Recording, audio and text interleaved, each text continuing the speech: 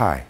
This paradigm shift is about improving quality, production, and customer relations. And I'd love to tell you that I figured this one out all by myself, but it actually happened when we were doing some PR interviews at a company. I was talking to a lady in inside sales, didn't really think there was much sense asking her about injuries, so I just asked her if she'd noticed any improvements in quality or production since they had taken the critical error reduction techniques.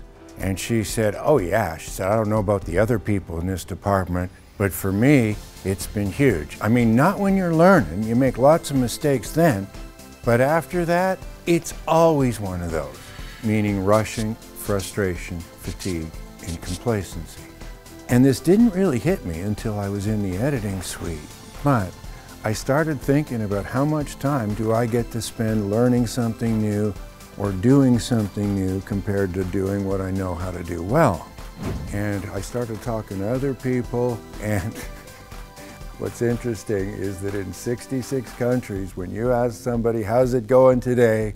You can hear same old, same old in 66 different languages. So I'm not the only one that doesn't have a whole lot of variation day to day, week to week.